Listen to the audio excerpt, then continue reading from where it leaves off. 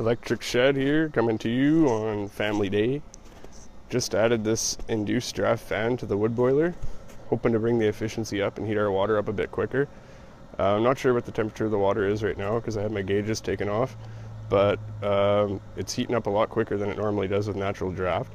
As you can tell there's hardly any smoke coming through this uh, induced draft blower and it's actually cool enough in flue gases that I can put my hand right next to it like in terms of the flue gas temperature, it's pretty cool, which means I'm extracting quite a bit of heat by the, in the actual heat exchanger of the boiler. You can turn the speed up and down with a normal fan speed controller to vary the firing rate. But it seems to work quite well when it's turned all the way up. The lower speeds work good for lighting it.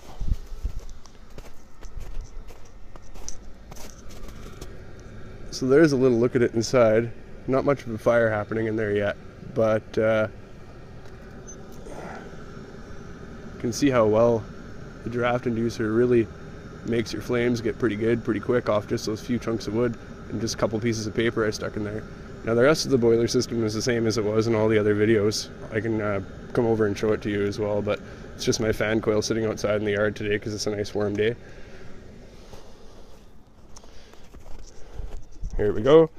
There's a 2699 Grundfos circulating pump and an old fan coil from a boiler tear out, pumping it through this bucket up here,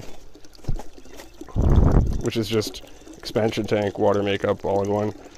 And uh, yeah, so basically it gets pumped from this bucket to the boiler, back from the boiler through the heat exchanger, out of there, into the bucket, and back around again.